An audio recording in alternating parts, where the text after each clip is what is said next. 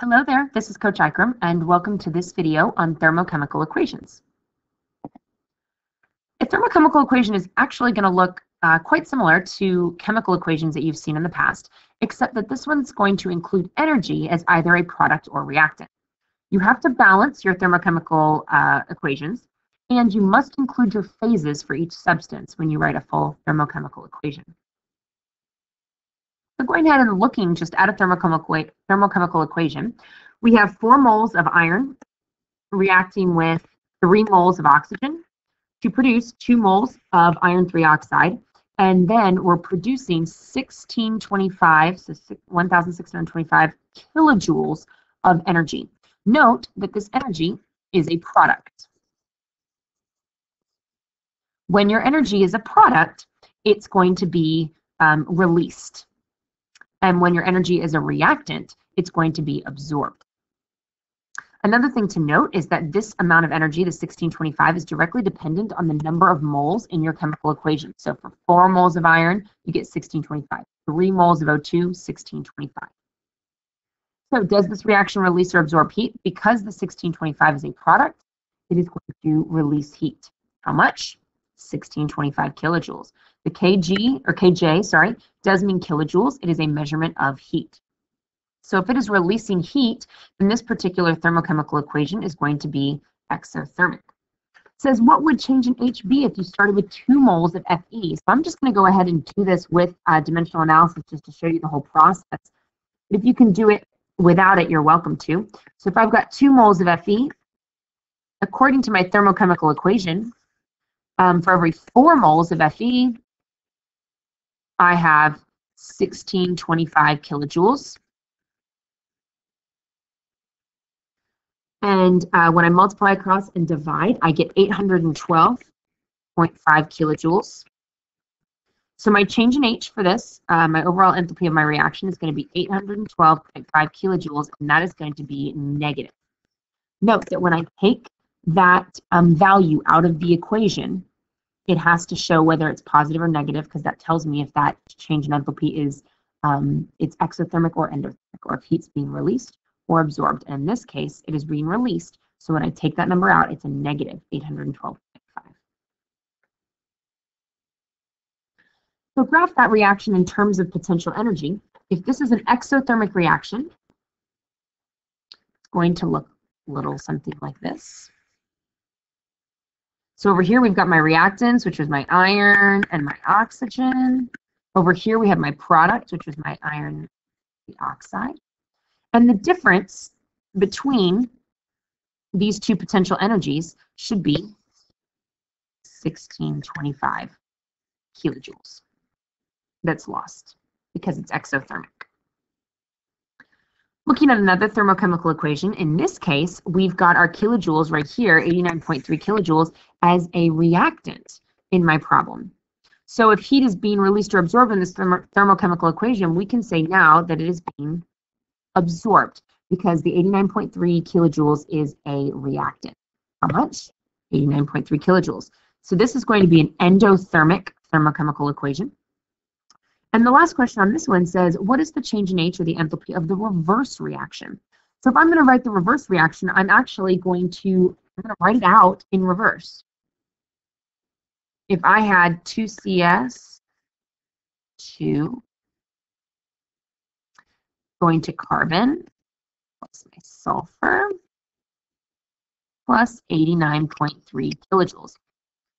So in this case now, if I look at my reverse reaction, my 89.3 kilojoules is actually now a product.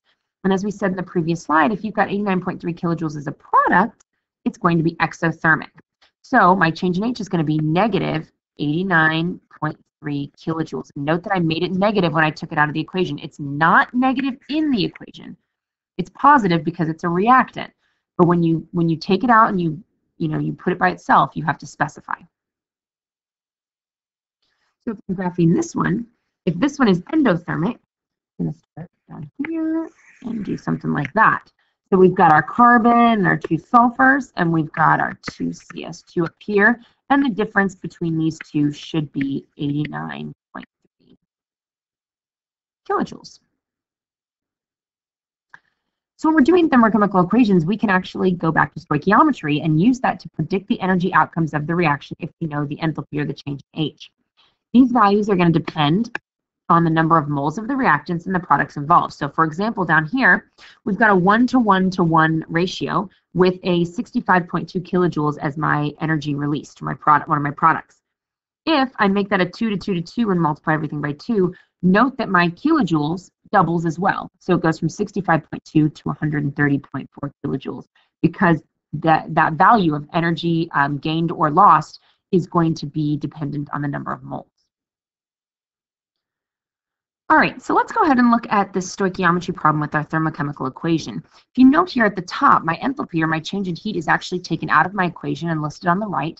Note that it is negative, so overall this is an exothermic reaction. It is losing energy. Let's calculate the heat change in kilojoules for this conversion of 10.1 uh, grams of the hydrogen gas to hydrofluoric acid gas at a constant pressure. So if I've got 10.1 grams of hydrogen gas,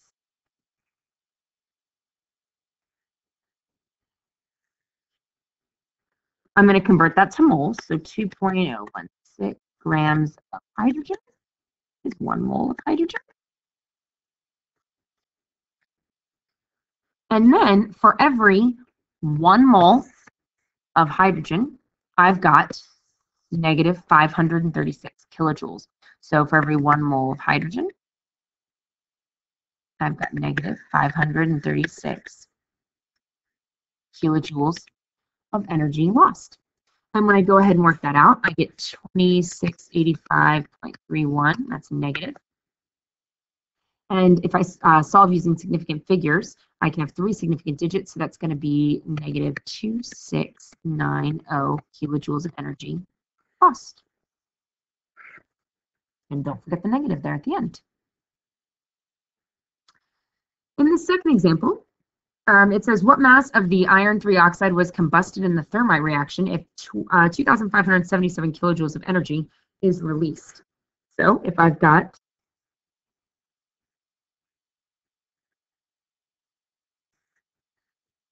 that's my energy, I'm going to use that as my starting point. Well, I've got my energy right up here. So I've got um, negative 851 kilojoules, and this should also actually be negative because it was released. So negative 851 kilojoules um, for every uh, one mole of my iron oxide in this case. Make sure you note that up there at the top in my balanced chemical equation. And then for every one mole, I have 159.687 grams.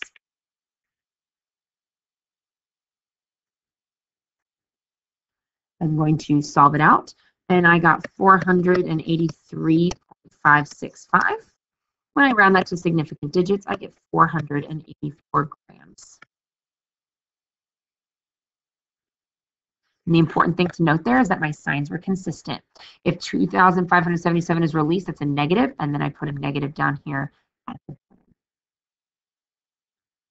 All right, uh, that's the end of this video. Make sure you took good notes and come to class with questions. Thanks.